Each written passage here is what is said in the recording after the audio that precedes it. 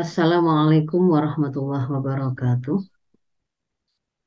Alhamdulillahirabbil alamin. Alhamdulillahilladzi arsala rasulahu bil huda wa dinil haq liyudhhirahu 'ala dini kullih wa kafa billahi syahida. Asyhadu an la ilaha illallah wa asyhadu anna Muhammadan abduhu wa rasuluh. Allahumma shalli ala sayyidina Muhammad wa ala ali sayyidina Muhammad. Rabbi syrah li sadri wa yassir li amri wa hlul 'uqdatam min lisani yafqahu qawli. Amma ba'd. Alhamdulillahirabbil alamin.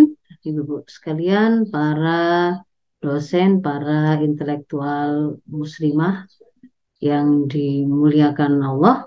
Pada pagi hari ini saya mendapatkan judul untuk melanjutkan kelas kita, kajian kita yaitu Sistem Politik Islam, Sistem Khilafah. Saya memberi judul presentasi saya adalah demikian. Sebagai sebuah prolog ada dua slide yang ingin saya sampaikan bahwa pada hari ini bahkan tidak sekedar akhir-akhir ini begitu ya, sudah sejak tahun 2000-an itu eh, dunia barat, para pemimpin-pemimpin negara di seluruh dunia secara global itu sudah mulai banyak yang menyebut-nyebut kata khilafah. Dan kalau di Indonesia sendiri sejak 2017 sampai 2020 itu kata khilafah itu menjadi trending topik dan menjadi perbincangan yang diulang dan di, dilakukan menjadi diskursus di mana pun begitu. Tapi kalau kemudian mau kita lihat secara objektif, ketika hari ini kata khilafah itu disebut, ini kita mendapatkan narasi yang bertolak belakang, yang berbeda dengan narasi yang dimiliki ketika kata demokrasi itu disebut. Ya. Jadi ketika kata demokrasi itu disebut itu mewakili eh, makna-makna atau sesuatu yang posisinya itu positif begitu ya.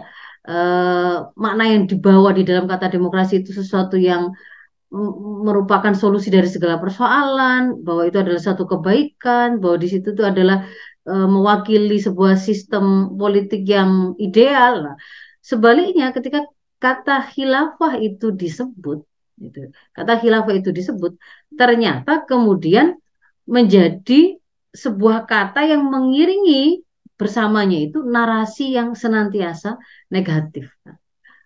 Bahkan kemudian saya pada level dia itu digambarkan sebagai sesuatu yang sangat buruk. Nah, kita mengenal sebagai dia itu menjadi korban atau sesuatu yang distigmatisasi ketika dia disebut maka tergambar di di situ itu juga narasi bahwa dia itu akan membawa kepada pecah belah bahwa dia akan uh, menjadi sebuah awal dari kemunduran bahwa khilafah itu tidak cocok untuk kemudian diterapkan di bumi A, B, C yaitu negeri-negeri kaum muslimin atau kalau kemudian ada yang mau apa namanya berusaha untuk netral begitu tidak kemudian memonsterisasinya itu e, menyebutnya sebagai ya memang itu iya ada e, dia memang pernah tegak tetapi kan itu sejarah gitu ya.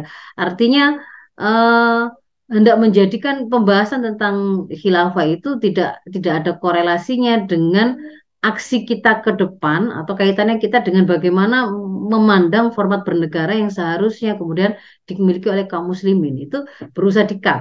Bahkan eh, pemahaman yang seperti ini sudah masuk pada pada negeri-negeri muslim termasuk di Indonesia termasuk di beberapa negeri muslim yang lain upaya untuk membahas ketika kajian itu membicarakan khilafah maka kajiannya harus hanya bersifat historikal atau tarihi bukan masuk ke dalam bahasan fikih yang itu berkaitan dengan bagaimana uh, penerapan satu hukum. Nah, bahkan kemudian uh, ketika rame-rame uh, pada beberapa tahun yang lalu kemudian ada deklarasi ISIS, lalu kemudian ada banyak juga upaya untuk masih dalam rangkaian menstigmatisasi atau memonsterisasinya adalah dikaitkan dengan ISIS khilafah itu tadi.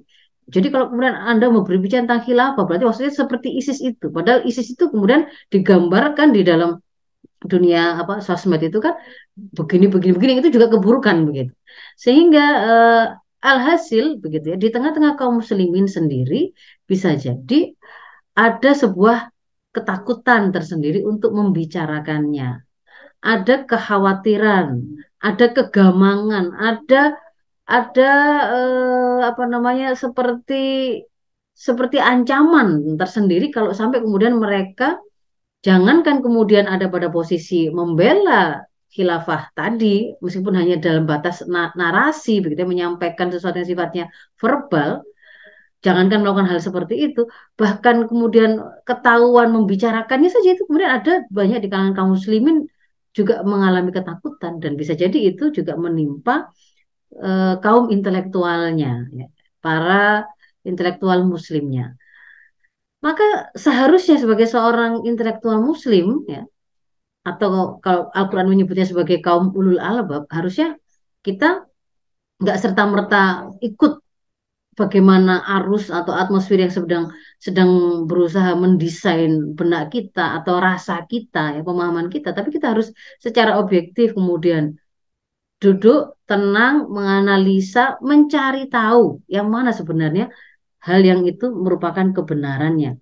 Kenapa? Karena di antara karakter intelektual itu adalah bahwa dia dia terbiasa untuk mendengar ada banyak paparan ada banyak narasi, ada banyak uh, penjelasan, analisa, tetapi dia hanya akan mendengarkan uh, dan memilih perkataan yang paling baik. Jadi dia hanya akan dari per, semua perkataan, analisa, narasi yang dia dengar, yang yang dia tadi biasa mendengarnya tadi, dia akan coba dudukkan semuanya, dia akan dengarkan semuanya.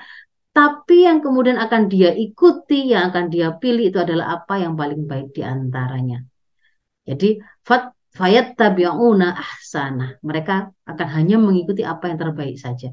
Dan itulah orang-orang yang alladzina hadahumullah, mereka mendapatkan petunjuk dari Allah dan itulah yang disebut oleh Allah sebagai ulaika hum ulul albab, orang-orang yang berakal. Dan orang-orang yang berakal itu atau kalau kemudian di dalam Al-Fatih 28 al ulama orang-orang intelektual itu itu rasa takutnya kepada Allah itu adalah lebih besar daripada orang-orang yang lain. Karena keilmuan yang dia punya tadi, akhirnya dia bisa menundukkan rasa takut yang tepat itu sesuai dengan yang seharusnya. Bahwa di antara hamba-hamba Allah yang paling besar rasa takutnya kepada Allah itu adalah al-ulama, orang-orang yang mereka berilmu, orang-orang intelektual. Nah, maka hari ini kita akan membahas ini eh, topik bahasan kita ada tiga sub bahasan besar. Yang pertama adalah saya mengawalinya dengan review tentang bagaimana sih yang dimaksud dengan gambaran sistem Islam itu mengkaitan mengkaitkannya dengan politik dan kekuasaan atau negara.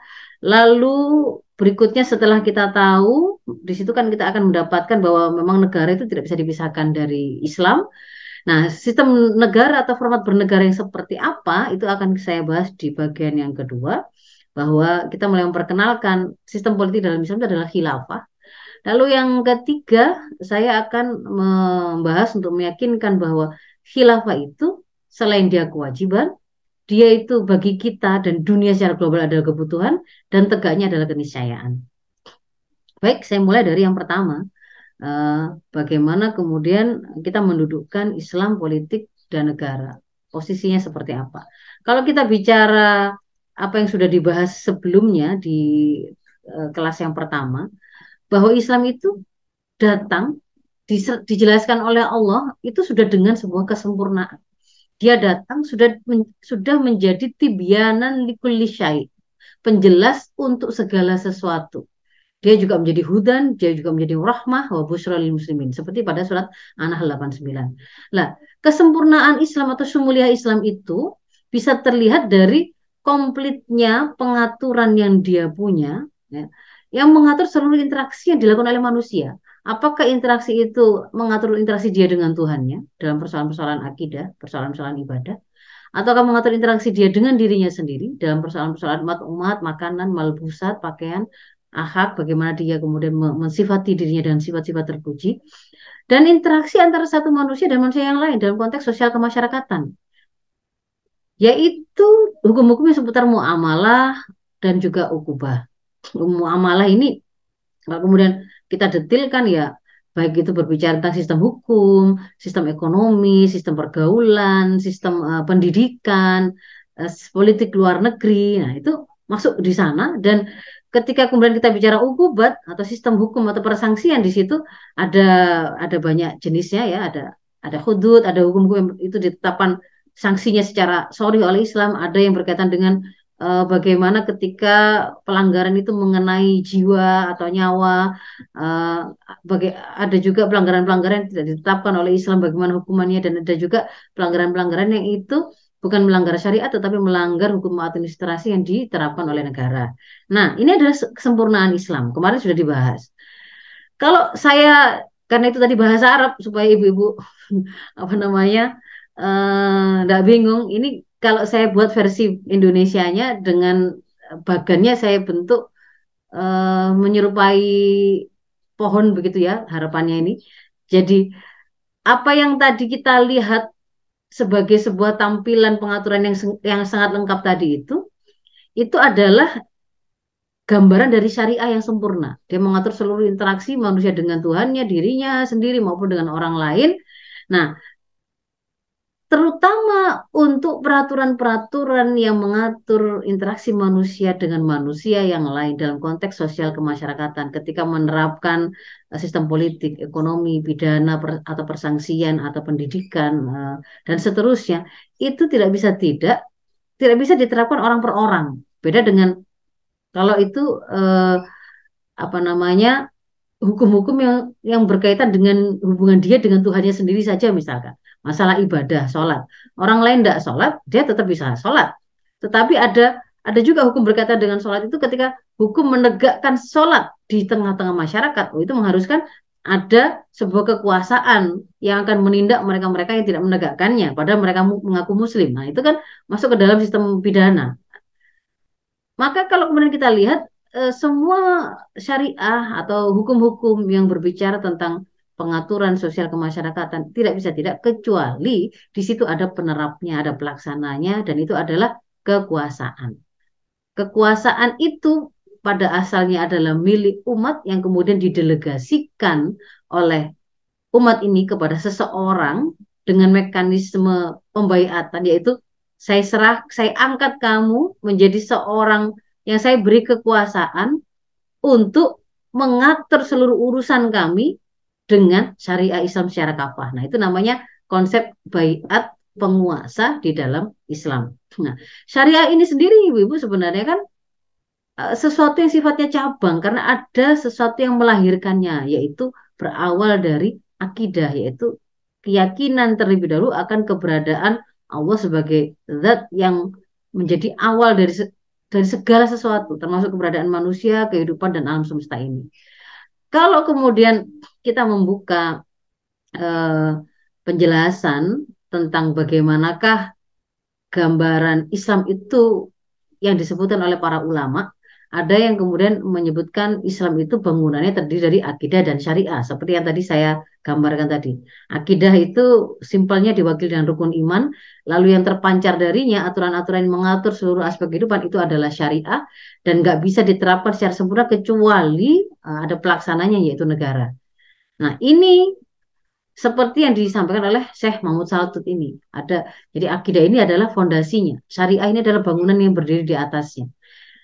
Ada Syekh Tagirin An-Nabahani yang kemudian menyebut uh, gambaran peradaban Islam atau ideologi Islam atau sistem Islam itu akidah akliyah yang basiku anhanidom ya akidah akidah yang kemudian juga terlahir darinya sistem kehidupan yang itu adalah peraturan-peraturan komplit yang mengatur seluruh aspek kehidupan manusia tapi untuk kemudian bisa membuat umat ini bisa membedakan bahwa ada unsur konsep dan ada unsur Eh, pelaksanaan ya metode metode maka beliau menyebutnya dengan memperkenalkan istilah Islam itu terdiri dari fikroh dan torikoh. Fikroh itu artinya ada konsepnya, yaitu mulai dari akidah plus eh, konsep-konsep hukum syarek untuk menyelesaikan persoalan, itu disebut sebagai konsep.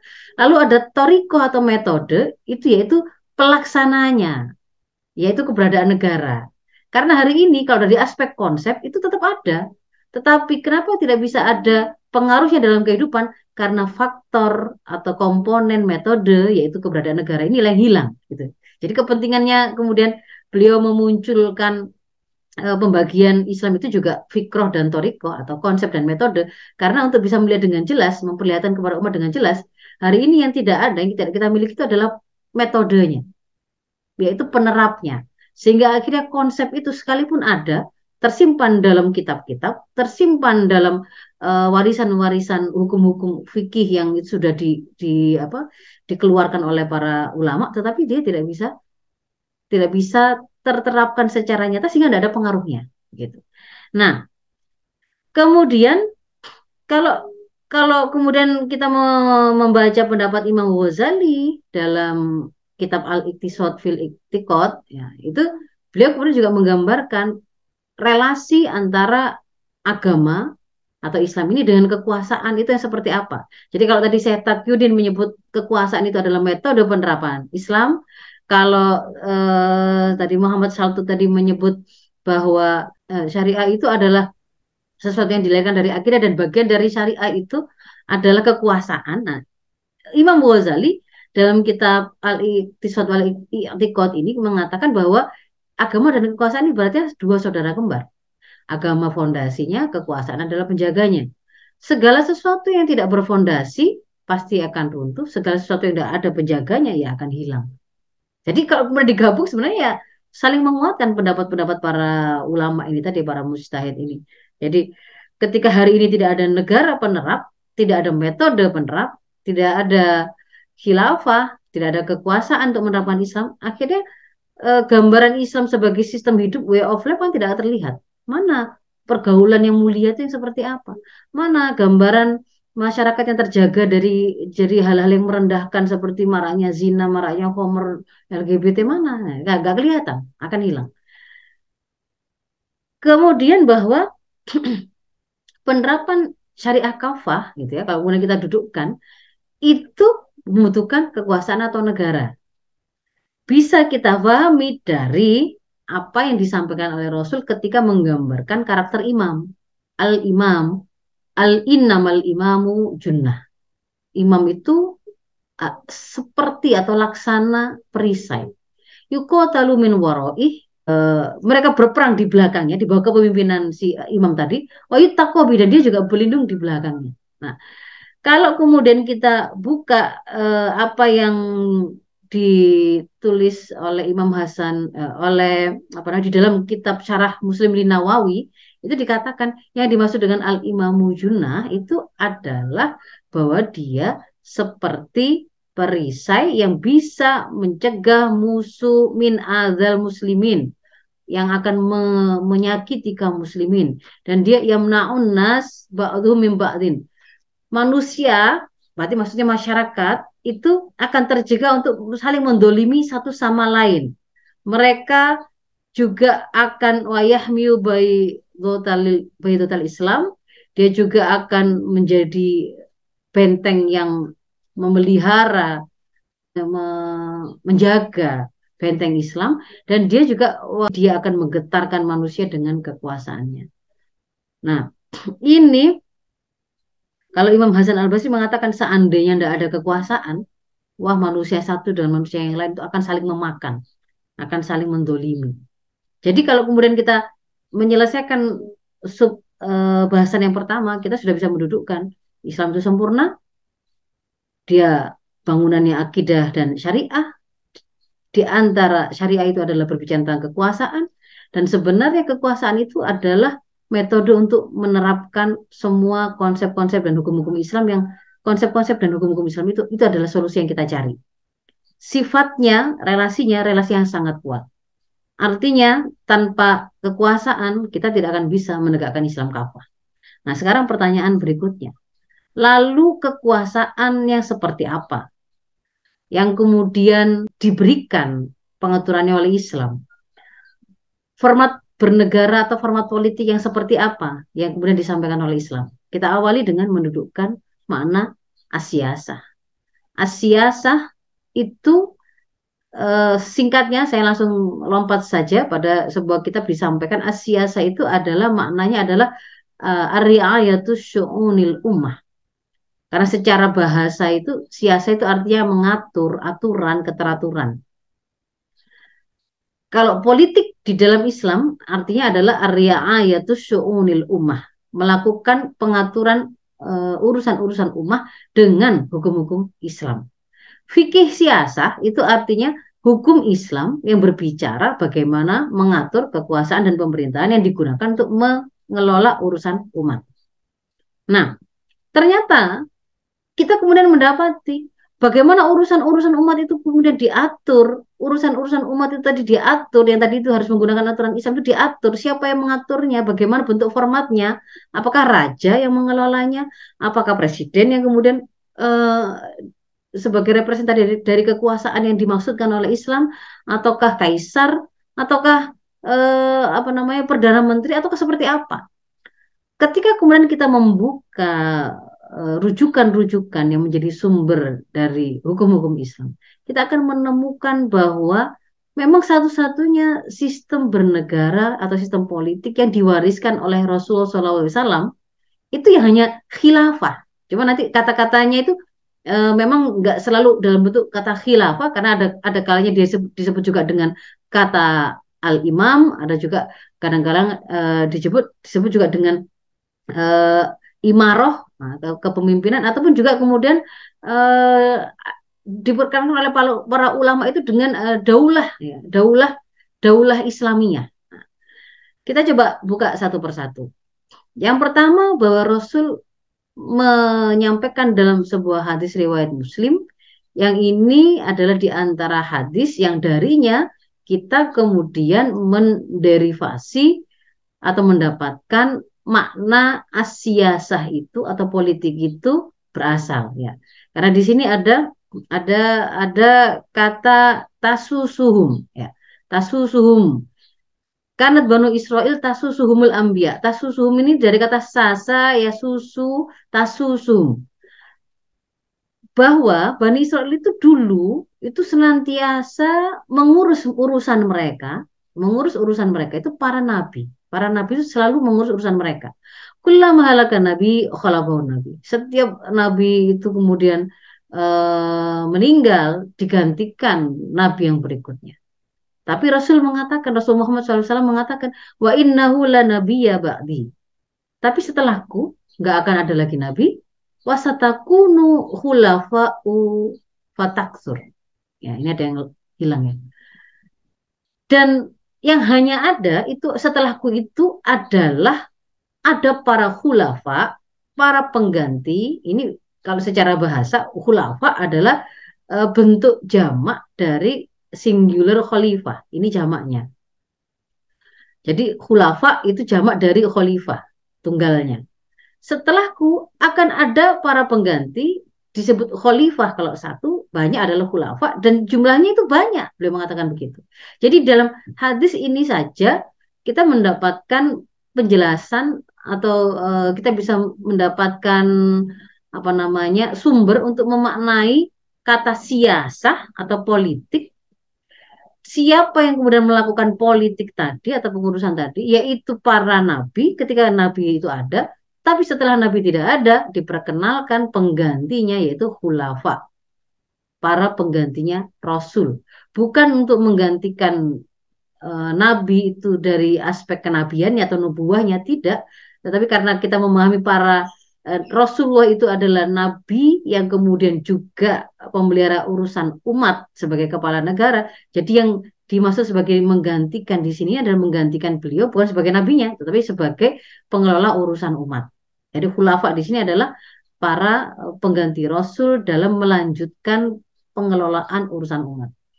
Nah, termasuk juga kemudian uh, beliau menyebut lagi dengan istilah khulafa rasyidin itu pada hadis yang lain. Fa'alaikum bisunnati wa sunnatil khulafa rasyidin hadiyin.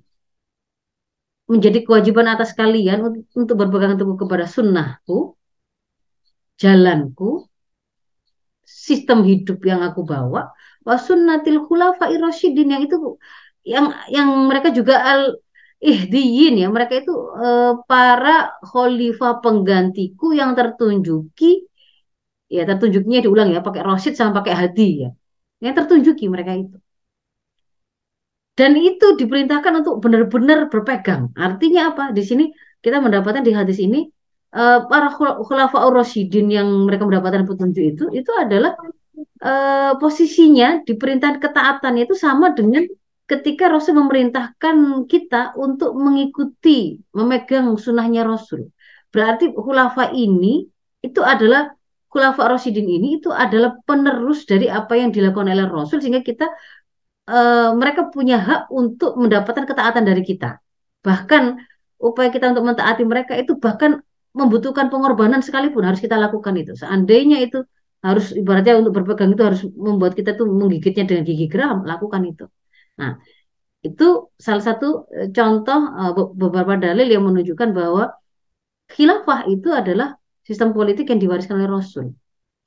Nah, kalau di masa Rasul sendiri, kita ya nggak mengenal khilafah Islam karena kata-kata khilafah lalu orangnya adalah khalifah, jamaknya adalah khulafa, itu kan maknanya memang pengganti. Jadi nggak nggak tepat kalau menyebut masa Rasul itu adalah masa kekhilafan Islam, jelas salah. Masa Rasul beliau adalah nabi sekaligus Roisud Daulah yang pertama di Madinah. Pemimpin negara pertama yang beliau tegakkan di Madinah. Apakah benar waktu di Madinah itu uh, adalah negara? Apa bukan cuman apa namanya uh, kumpul-kumpulnya beberapa sahabat saja seperti hari ini orang berkumpul di lapangan atau apa kan sedikit jumlahnya atau mungkin RT begitu. Atau mungkin itu hanya desa bukan bukan bukan negara. Nah, nanti akan kita tunjukkan di belakang. Jadi bahwa Rasul itu pemimpin negara sekaligus nabi. Tetapi ketika kemudian beliau mengatakan akan ada pengganti uh, penerusku yang meneruskan di sini bukan meneruskan menjadi nabi, tapi meneruskan posisi beliau sebagai pengelola urusan umat. Para penerusnya itu disebut sebagai khalifah. Nah, sehingga kemudian sistem bernegara, sistem pengelolaan urusan umat atau sistem politiknya disebut sebagai khilafah. Jadi khilafah kalau kita sebut ini berarti nama negaranya karena kalau orangnya kan khalifah khilafah adalah penerus dari negara Islam. Kalau negara Islam pertama itu Rasulullah sebagai ro'isud daulahnya, kalau sistem khilafah, para pemimpinnya adalah khalifah atau jamaknya khulafa. Jadi dia dari e, beberapa dalil atau hadis yang menggunakan kata-kata akan ada, akan tegak kembali khilafah ala min hajin nubuah, ini menunjukkan bahwa khilafah ini sendiri merupakan pengganti atau melanjutkan yang sudah ditinggalkan Rasul. Kata-kata khilafahnya. Kalau dari kata alamin haji nubuahnya, alamin haji nubuahnya ini juga menjelaskan bahwa berarti khilafah pengganti itu hanya akan benar-benar berjalan mengikuti manhaj kenabian. Berarti dia tidak bikin nggak ngadi-ngadi kalau bahasa anak sekarang. Itu bukan bikin-bikin yang baru. Tetapi itu adalah semata-mata hanya mengikuti kembali apa yang sudah diwariskan oleh Rasul. Kemudian dari uh, sumber-sumber hukum tadi, para ulama, para intelektual muslim itu kan kemudian mendefinisikannya, men melakukan takrif ya, membuat takrif atau definisi. Jadi khilafah itu sendiri seperti apa? Sebelum kemudian didefinisikan istilah istilah kekuasaan untuk menerapkan Islam atau mengelola urusan umat memang dalam hasanah keilmuan Islam itu tidak hanya diperkenalkan dengan kata-kata khilafah.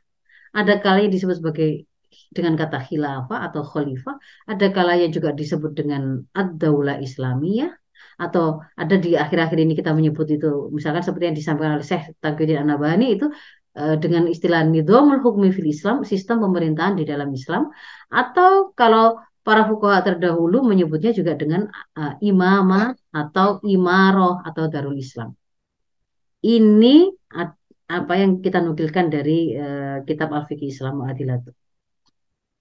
Nah, lalu, lalu apa yang dimaksud dengan khilafah itu sendiri? Saya ambil dua ini saja. Uh, yang pertama adalah dari Syekh Abdul Majid Al-Khalidi dalam Qawaid Nidhamul Hukum fi Islam. Beliau mendefinisikan khilafah adalah riasatun amatun lil muslimin jami'an fid dunya. Dia adalah kepemimpinan yang bersifat umum untuk seluruh kaum muslimin semuanya. Berarti kalau terbayang kaum muslimin semuanya, ya kaum muslimin di Indonesia, kaum muslimin di kalau ada yang di Amerika berarti termasuk di situ, yang ada di Eropa berarti termasuk di situ, yang ada di Afrika termasuk di situ. Kepemimpinan umum untuk seluruh kaum muslimin di dunia. Jami'an semuanya fit dunia di dunia. Jadi kita bicara khilafah itu penerapannya di dunia, bukan di akhirat. Untuk apa si kepemimpinan itu? Li'ikomati ahkami syara'il islami. Satu. Untuk menegakkan hukum-hukum syariat Islam. Wahamli dakwatil islamiyah ilal alam. Dan mengemban dakwah Islam ke seluruh dunia. Sementara kalau saya Tagirin Anabani di kitab beliau Asasya Islamiyah, beliau mendefinisikan begini. Al-khilafah itu ya riasatun amatun lil muslimin jami'an fid dunya di kumati ahkam syar'i islami wa hamid islami ilal alam adalah kepemimpinan umum bagi kaum muslimin seluruhnya di dunia untuk menerapkan hukum syariat Islam dan membantu Islam ke seluruh dunia. Nah, dari definisi itu kita mendapatkan kalau singkatnya itu ada tiga tiga kata kunci. Kalau kita sebut khilafah, melekat padanya itu tiga hal. Dan ini semuanya positif ternyata kalau kita lihat ya. Kita dudukkan itu tadi kan ternyata positif. Yang pertama adalah ukhuwah. Kenapa ukhuwah? Karena dengan khilafah dia akan mempersatukan seluruh umat Islam di seluruh dunia dalam satu kepemimpinan, dalam satu ketaatan. Satu kepemimpinan, pemimpin negara. Satu sistem politik. Mempersatukan, itu berarti kan ukhuwah. Maka di sini akan me menghapuskan uh, yang namanya apa, pertentangan atau bahkan mungkin permusuhan antara kaum muslimin yang mereka terpecah belah harus berhadapan-hadapan karena membela ide nasionalisme, isme-isme nation yang membuat mereka meskipun beriman ternyata harus berhadapan-hadapan dalam perang bisa jadi seperti itu. Tapi ketika kemudian sistem itu, sistem pemerintahan atau bernegara itu adalah apa konsep pertamanya itu adalah dia mempersatukan. Kenapa ya? Karena karena kaum muslimin ada di seluruh dunia tadi itu akan diurusi dengan satu pengelolaan aturan yang sama oleh satu pemimpin atau kepala negara. Lalu yang kedua, singkatnya adalah syariah. Kaitannya dengan apa? Kan tadi khilafah ada untuk menerapkan syariah secara kafah. Di dalam negeri dia menerapkan syariah secara kafah yang itu akan menjadi pengelolaan urusan masyarakat, akan menjadi solusi atas persoalan-persoalan mereka. Ke luar negerinya, politik luar negerinya, dia akan membawa Islam itu dalam bentuk dakwah yang dia serukan ke seluruh alam. Nah, dia sebarkan Islam tadi itu ke seluruh penjuru dunia dan itu akan menjadi asas dari politik luar negeri khilafah. Maka esensi yang ketiga adalah dakwah. Uhwah, syariah, dakwah. Jadi kalau disebut khilafah sebenarnya itu itu representasi dari uhwah, syariah, dakwah. Tidak ada sama sekali, oh khilafah berarti mundur, khilafah berarti bermasalah, khilafah berarti kejam. Tidak ada di sini. Khilafah itu adalah maknanya akan terwujud uhwah Islamiyah hakiki, kaum muslimin akan dipersatukan, akan disatukan dalam satu ketaatan kepemimpinan. Mereka urusannya akan diatur dengan syariah Islam yang itu pasti sempurna, pasti tepatnya karena berasal dari zat yang menciptakan manusia dan kehidupan dan akan membuat wilayah-wilayah negeri-negeri yang belum mengenal Islam ketika Rasul wafat mereka belum mendapatkan dakwah itu oleh utusan dari utusan dari Rasul misalkan maka khilafah akan meneruskannya untuk menyampaikan dakwah ini ke seluruh dakwah Nah, khilafah itu juga kalau kalau kalau Imam Al-Mawardi mengatakan di dalam kitab Al-Ahkam Sultaniyah bahwa khilafah itu punya kewajiban melakukan 10 hal yang kalau saya kasih judulnya itu keberadaan khilafah adalah untuk melakukan eh, pengelolaan urusan kemaslahatan umat. Jadi dia umat itu butuh dijaga akidahnya. Itu itu bagian dari kewajiban khalifah kalau mereka berselisih, oh, berselisih tentang apa? Misalkan ada yang melakukan pembunuhan, ada yang melakukan pencurian, ada yang kemudian melakukan apa namanya perkosaan, ada yang melanggar hak orang lain, merampas hartanya misalkan. Mereka berselisih di situ. Yang menyelesaikan adalah khalifah.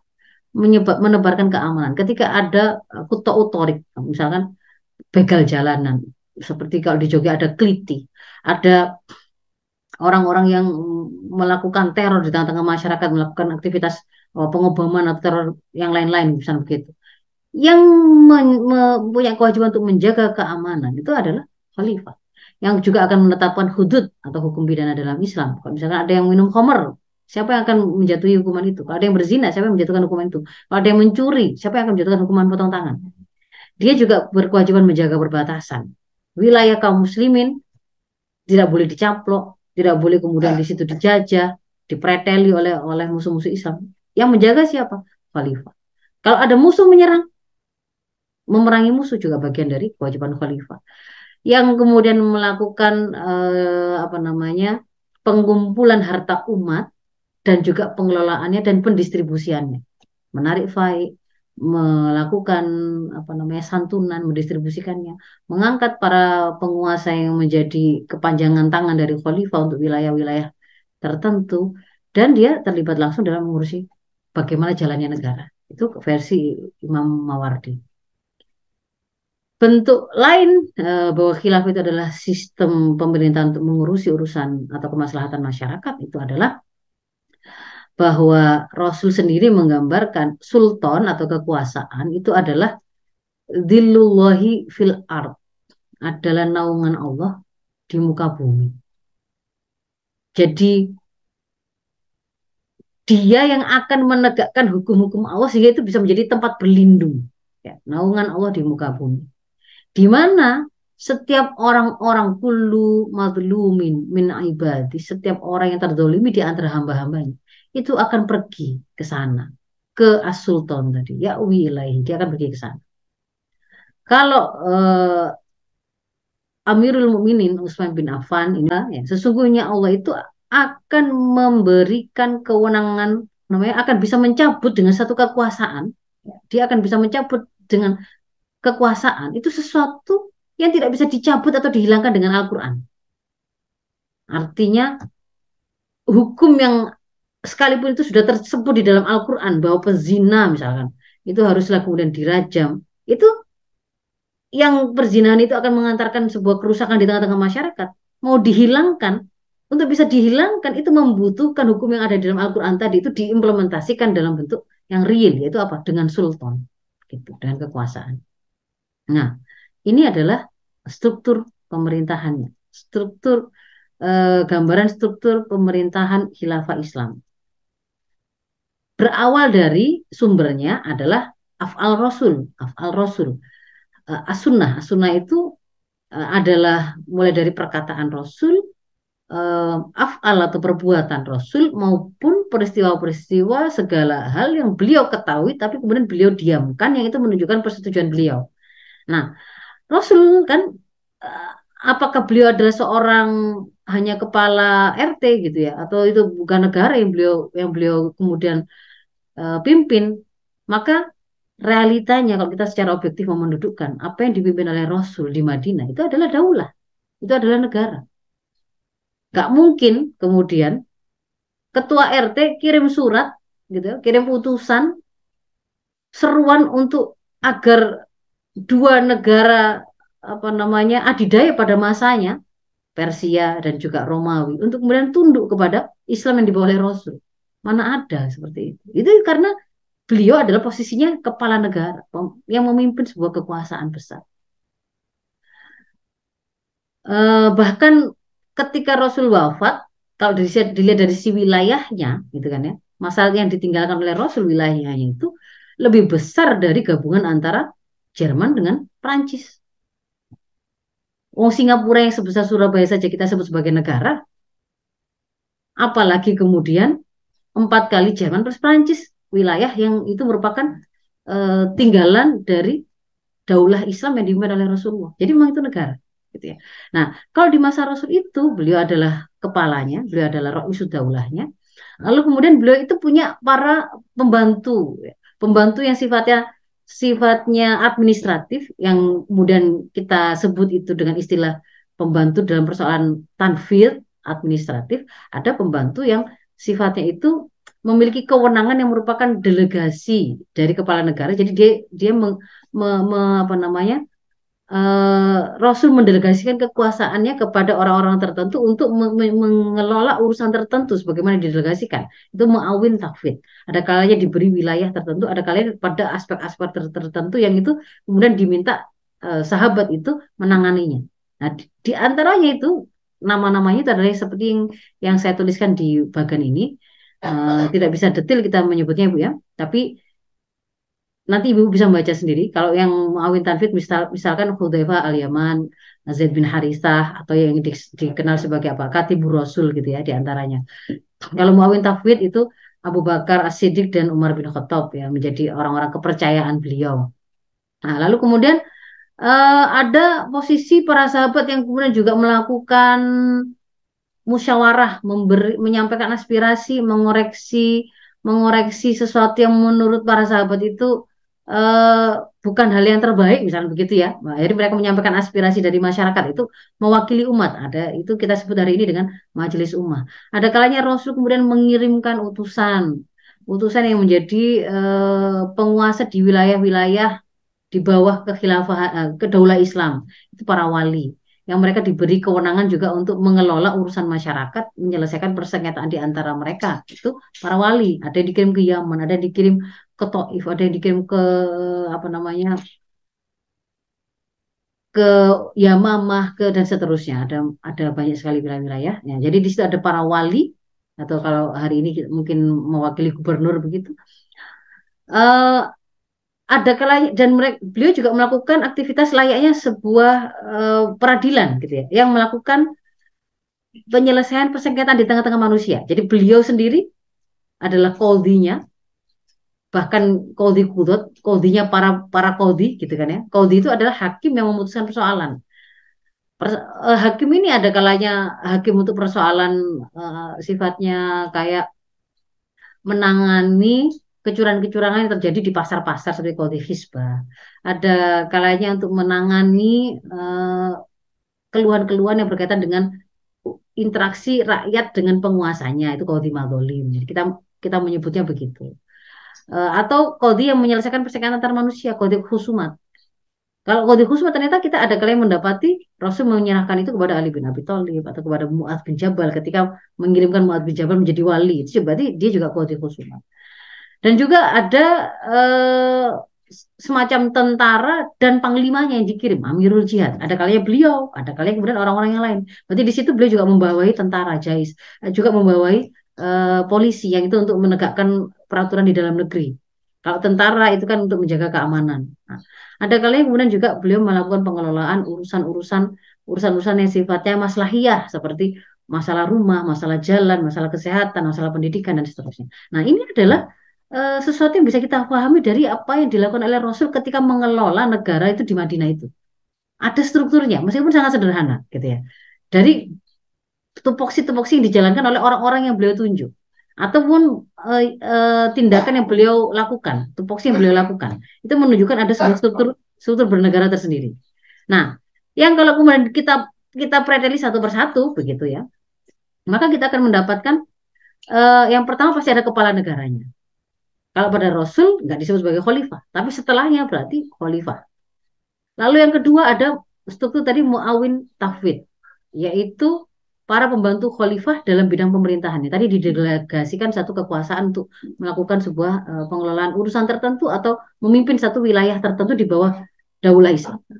Lalu yang ketiga yang didelegasikan oleh Rasul untuk mengurusi administrasi, wazir atau eh, apa tadi para wazir yang bersifatnya at-tanfid untuk mengelola administrasi. Ini bisa disebut sebagai wuzaro atau bisa juga disebut sebagai muawin. Sama, muawin tanfid atau wuzaro tanfid. Lalu yang berikutnya nanti apa yang saya tulis di sini bisa dibaca sendiri Bu ya tentang apa rujukannya atau dalilnya. Lalu yang berikutnya adalah para pemerintah daerah, wali atau gubernur. Itu. Lalu ada Amirul Jihad, tadi sudah saya sampaikan ada kalanya beliau yang memimpin pasukan artinya beliaulah Amirul Jihad ya ada kalanya beliau mengirim sahabat yang lain untuk menjadi panglima perang ya. misalkan pada waktu eh, perang Muktah itu ada tiga bahkan tiga tiga pemimpin yang beliau sebut awal duluan gitu ya jadi kalau pertama adalah Amir pasukan adalah Zaid bin Harithah kalau nanti dia gugur, berikutnya digantikan oleh Ja'far bin Abi Thalib. Kalau dia gugur, digantikan oleh Abdullah bin Rawaha. Itu itu menunjukkan ada ada Amirul Jihad. Dan juga ada pasukan yang, di, yang mereka pimpin. Ada sebuah proses me, memanage dan me, mengelola pasukan. Nah, persenjataannya, eh, apa namanya perbekalannya kan gitu kan bagaimana berlatihnya dan seterusnya itu menunjukkan sebuah pengelolaan sistem keamanan. Lalu Departemen Keamanan Dalam Negeri yang itu untuk menjaga keamanan di dalam di dalam negara uh, surtoh kalau atau kalau hari ini kita nyebutnya sebagai kepolisian gitu. Lalu ada Departemen Luar Negeri yang mengelola urusan daulah Islam melakukan hubungan dengan atau interaksi dengan negara-negara di luar daulah Islam. Berunding, menjalin hubungan kerjasama, ekonomi, atau kemudian uh, mengirimkan utusan untuk uh, menyampaikan dakwah Islam, itu Departemen Luar Negeri. Ada Departemen Perindustrian, di antaranya adalah industri perang yang tadi itu mengelola persenjataan yang digunakan untuk mensuplai logistik dan senjata eh, apa Amirul Jihad dan juga pasukan yang mereka punya punya apa namanya kewajiban untuk menyempurnakan kewajiban melakukan menegakkan jihad visabilillah. Nah, itu kan kewajiban seluruh kaum muslimin. Jadi pasti ada, harus ada. Harus ada pasukannya, harus ada persenjataannya. Di antaranya itu adalah perindustrian yang akan menanganinya. Lalu ada eh, peradilan, gitu ya, ada struktur peradilan. Ada struktur kemaslahatan umum. Nah, nanti kemaslahatan umum ini dengan perkembangan zaman ya bisa jadi akan semakin berkembang begitu yang diurusi.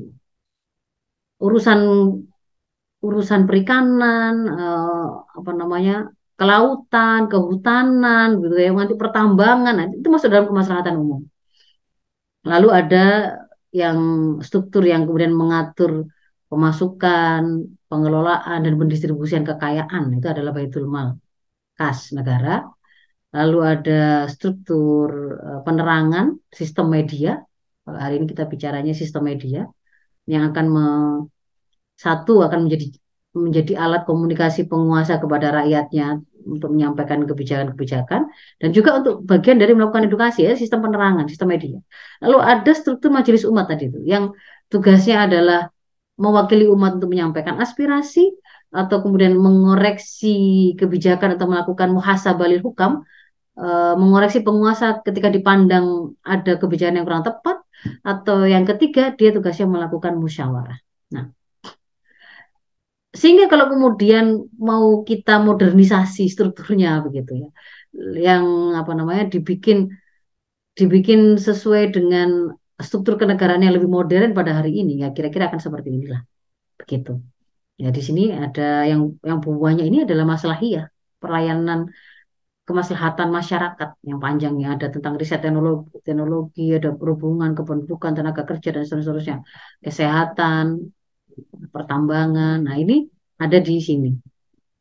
Struktur ini kita dapatkan dengan menggabungkan penggalian hukum tentang struktur negara Islam dari masa Rasul plus ya plus uh, struktur khilafah Islam yang dilakukan oleh para khulafa Rasyidin yang empat itu yang kemudian kan juga dilanjutkan sistem khilafah itu hingga terakhir terakhir itu pada eh, apa namanya pada khilafah Turki Utsmani yang di tahun 1924. Akan tetapi yang yang apa namanya yang berfungsi sebagai dalil ya, sebagai sumber hukum itu adalah hingga yang menjadi ijma sahabat. Jadi mulai dari nanti kita akan mendapatkan penggalian hukum tentang khilafah ini ya dari al, sumbernya Al-Qur'an, As-Sunnah, ijma sahabat dan kias. Nah, as-sunnah itu di antaranya adalah meliputi dari perkataan, perbuatan Rasul ketika memimpin dan juga apa yang beliau diamkan.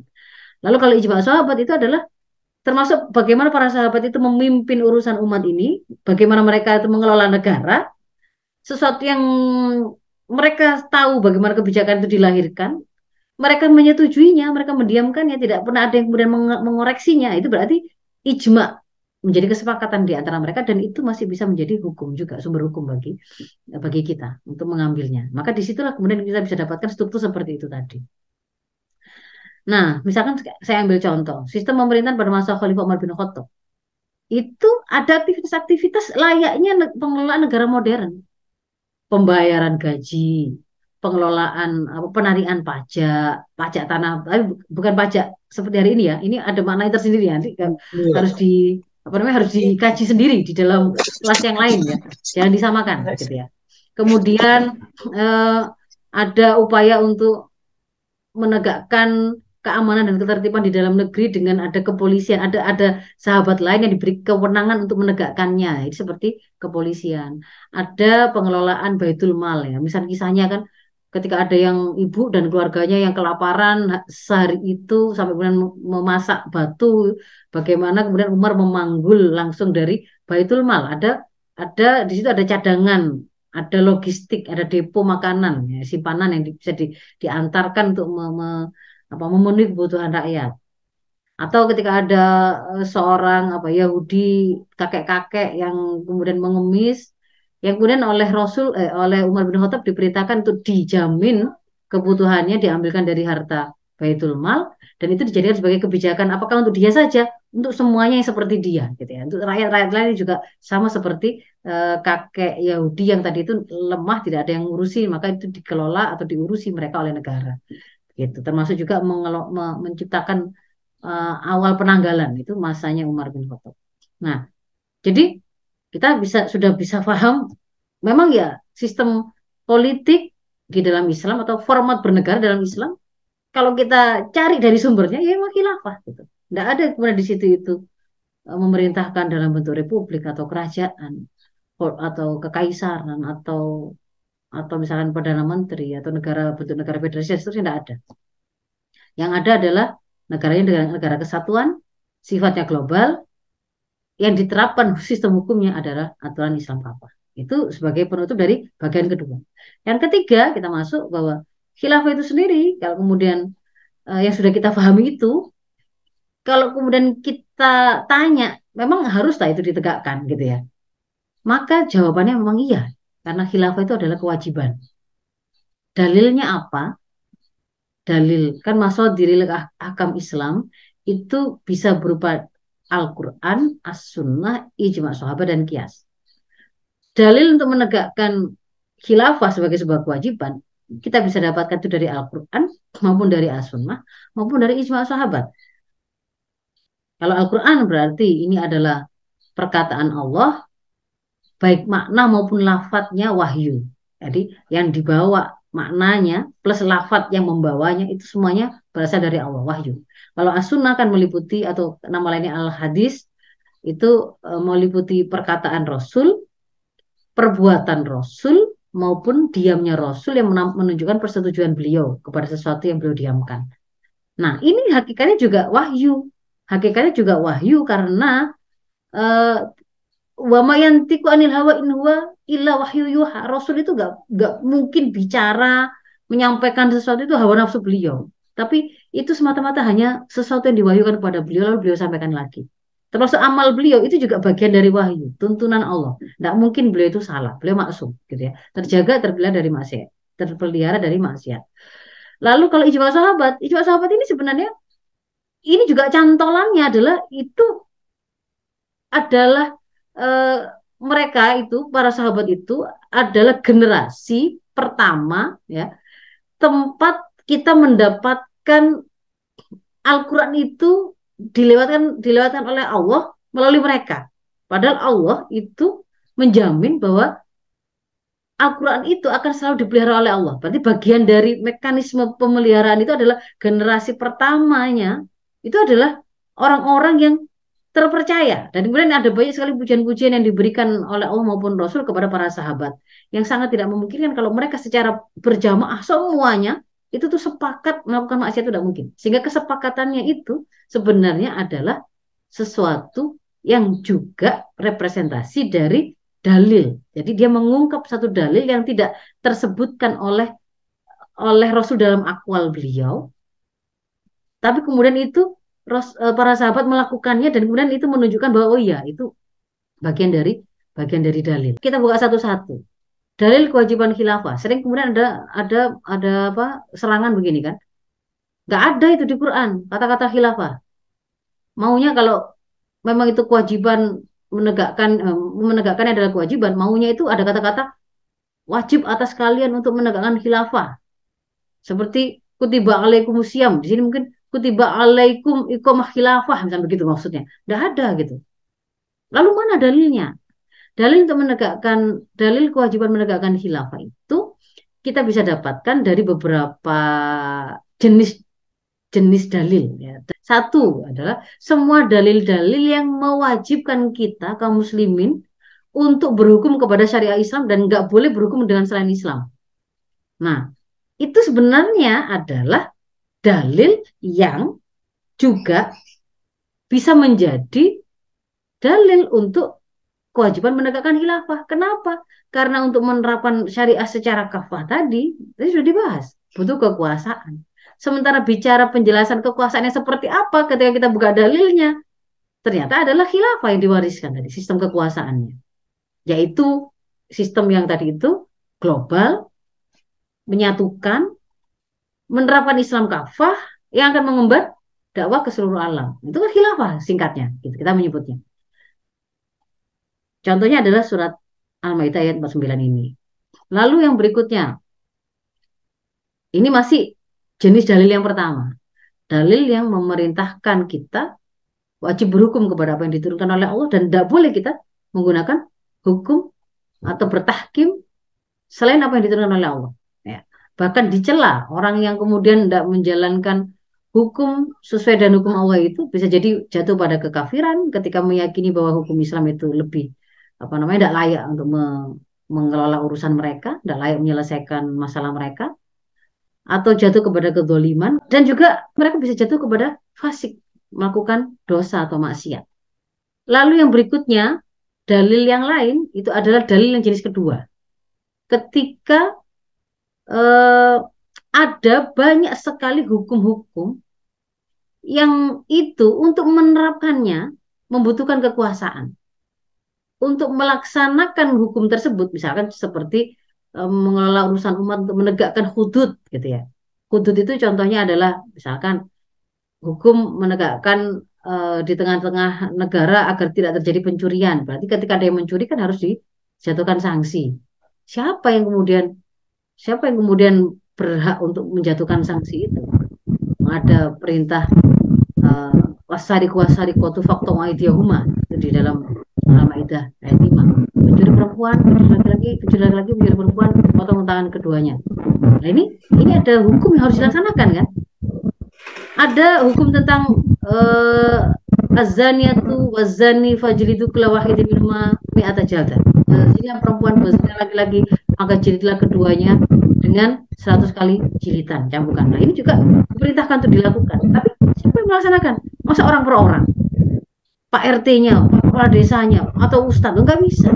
Yang pasti akan protes orang. Kan tapi ketika yang melakukan adalah pemilik kekuasaan pengadilan yang kemudian menghukumi lalu yang menjatuhkan sanksi itu adalah bagian dari sistem persangsian di negara tersebut representasi kekuasaan maka umat akan taat. Jadi ini maknanya apa ketika ada perintah-perintah untuk melaksanakan kewajiban? Ini itu adalah juga bermakna kewajiban untuk menegakkan pelaksananya kenapa karena tidak mungkin hukum-hukum tadi diterapkan atau dilaksanakan kecuali oleh pemilik kewenangan atau kekuasaan. Nah, seperti yang disampaikan oleh Abdul Qasim An-Naisaburi. Jadi beliau mengatakan yang dimaksudkan ketika ada kata-kata jilidlah para pezina itu, itu siapa yang diseru? Itu bukan seluruh rakyat, bukan seluruh umat, bukan. Tetapi adalah imam atau khalifah, memilih kekuasaan. Jadi pelaksana hudud adalah pemilik kekuasaan. Kalau tadi Imam Naisaburi begitu, Ibnu Taimiyah juga mengatakan ketika menerangkan ada ayat eh, ada ayat yang mengatakan pencuri laki-laki dan pencuri perempuan potonglah kedua tangannya itu ya. Asari kuasari kotu di rumah. Maka di sini juga beliau mengatakan yang yang diperintahkan untuk melaksanakan hukum itu itu yang mampu. Siapa yang mampu itu? Yang punya kemampuan ini adalah yang dimaksud dengan mampu di sini itu adalah kekuasaan. Jadi pelaksana hudud ini itu adalah yang memiliki kekuasaan atau wakilnya. Kalau Al-Qurtubi mengatakan di sini ini berarti kita disuruh untuk melaksanakan hudud itu plus gitu mengadakan siapa yang me, e, menerapkannya. Karena seruan ini tuh seruan untuk baik yang baik orang yang uh, orang yang akan menegakkan hukumnya maupun kemudian tempat diterapkannya hukum itu kena semua Al Imam Syafi'i mengatakan tidak boleh menegakkan had kecuali itu imam atau yang mendapatkan delegasi dari imam. Ibnu Qudamah juga begitu. Yang menegakkan had itu ya imam atau khalifah atau wakilnya. Jadi jelas itu. Dalil tentang menerapkan hudud itu adalah dalil untuk menegakkan kekuasaan atau pelaksananya. Lalu yang berikutnya dalil yang berbunyi uh, perintah untuk mentaati ulil amri. Nah, itu juga, sebenarnya juga dalil untuk menegakkan khilafah. Kenapa? Karena yang dimaksud dengan ulil amri, kata-kata ulil amri kalau dalam hasanah hasanah pembahasan fikih Islam, ini sudah maknanya itu khas. Orang-orang yang mengatur urusan itu siapa? Ya penguasa. Penguasa gitu. Jadi di sini ini Allah, Rasulnya yang perlu kita yang wajib kita taatikan Allah, Rasulnya dan ulil amri minkum. Nah, kalau eh, apa bahasannya secara penafsirannya itu kan untuk ulil amri tidak diulang kata-kata atiunya. Artinya dia itu nunut ketaatan kepada dia itu adalah mengikuti selama ulil amri ini taat kepada Allah dan taat kepada Rasulnya. Tuh. Lalu, ya ini ada ini bagian dari apa namanya pendapat Islami begitu ya. Ada yang kemudian di antaranya adalah Imam Qurtubi yang menggunakan di dalam di dalam Al-Quran itu kan ada kata-kata khalifah gitu. Ada kata-kata khalifah yang pada waktu Allah mau menciptakan Nabi Adam. Lah itu Imam Al-Qurtubi menjadikan ini ayat ini itu juga sebagai dalil kewajiban menegakkan khalifah itu. Karena beliau kemudian mengatakan bahwa uh, ini ayat ini bukan hanya bicara tentang Nabi Adam tapi untuk seluruh manusia. Nah, itu penjelasan beliau. Tapi ini tidak dipakai oleh, misalkan tidak dipakai oleh Syed Anabani karena uh, cukup dengan yang tadi yang itu sudah menjadi sebuah sebuah dalil yang kuat. Tapi ini adalah bagian dari pendapat Islami, ya, bahwa Imam Al-Qurtubi juga mengatakan bahwa uh, di antara ibro dari ayat ini adalah wajib untuk mengangkat imam atau khalifah yang wajib didengarkan dan ditaati, yang agar dengannya suara kaum muslimin itu disatukan, hukum-hukum khalifah bisa dilaksanakan gitu. Itu beliau menyebutnya seperti itu. Itu dari Al-Qur'an. Al Lalu kemudian dalil dari as-sunnah ya, ada banyak sekali eh, dalil-dalil di antaranya ketika dalil itu bicara tentang perintah taat kepada pemimpin nah, atau dalil yang berbicara tentang baiat. Karena konteks baiat itu ketika hadis itu menyampaikan itu adalah proses pendelegasian kekuasaan dari yang semula milik umat kepada seseorang yang diangkat secara pilihan secara free oleh umat ya tidak ada dipaksa untuk apa gitu ya. Dibayarnya untuk apa? Agar agar orang tersebut mengurusi urusan umat ini dengan syariah Islam. Nah, kata-kata yang apa tercantum di dalam hadis-hadis yang berbicara tentang baiat itu bagian dari dalil yang bisa digunakan untuk menunjukkan kewajiban menegakkan khilafah. Misalkan eh, ada ada celaan ya, seseorang yang dia menarik tangannya dari mentaati Allah akan men, akan menemui Allah itu di hari kiamat tidak punya hujah. Barang siapa yang man mata walaysa fi bayatan mata mitatan jahiliyatan. Barang siapa yang meninggal tapi dia tidak ada bayat di pundaknya kepada khalifah maka dia seperti mati jahiliyah. Sudah lalu ini kemudian diterjemahkan oleh para para ulama dalam bentuk uh, kaul-kaul mereka untuk memudahkan umat ini apa mendapatkan pelajaran. Silakan dibaca nanti ada Imam Ibnu Nawawi ada Imam Imam Ibnu Hajar Al Haythami uh, dan seterusnya. Hanya dua itu yang saya nukilkan di sini. Dan uh, sebagai penutup bahwa khilafah itu selain kewajiban itu kita membutuhkan bu. Ini kebutuhan kebutuhan karena dialah yang akan menjadi pelindung kaum muslimin hari ini. Ketika kemudian hari ini ada banyak misalkan di India itu ya orang kaum muslimin sampai di jalan-jalan itu dipukuli, perempuannya diperkosa, mereka sholat itu dilecehkan, eh, atau di berbagai belahan bumi yang lain ya di Palestina dan seterusnya. Itu siapa yang bisa melindungi, yang bisa melaksanakan porsi atau posisi sebagai perisai, yaitu kepala negara, khalifah, khilafah. Dunia juga membutuhkan khilafah. Karena hari ini ketika tidak ada khilafah, tidak tidak diatur dengan aturan berbasis wahyu, akhirnya kemudian diatur dengan sekularisme kapitalisme, yang terjadi adalah gambaran kehidupan yang sangat serakah, yang saling memakan satu sama lain begitu ya, jauh dari kemuliaan, sangat banyak kerusakan, dan itu sampai kepada negeri-negeri Islam, karena mereka juga menggunakan aturan aturan kufur yang dipaksakan atas diri mereka. Lalu khilafah itu yang kita butuhkan itu, yang juga menjadi kewajiban kita menegakkannya, pasti akan tegak kembali. Jadi kalau ada serangan mengatakan khilafah utopis, lalu Allah saja yang menyampaikan di dalam Al-Quran uh, An-Nur ayat 55 ini itu malah menjanjikan kok kalau khilafah itu akan ditegakkan oleh Allah diberikan kepada orang-orang yang beriman dan beramal soleh. Nah, ini uh, Imam Ibnu Kasir ketika menafsirkan ayat itu tadi ya itu mengatakan bahwa janji Allah ayat itu adalah janji Allah kepada Rasulnya bahwasannya dia akan menjadikan dia Allah akan menjadikan umatnya Rasul Muhammad itu sebagai khulafaul ard sebagai uh, para khalifah di muka bumi. Yaitu maknanya adalah aimatun nas walullah alaihim para pemimpinnya manusia para walinya mereka.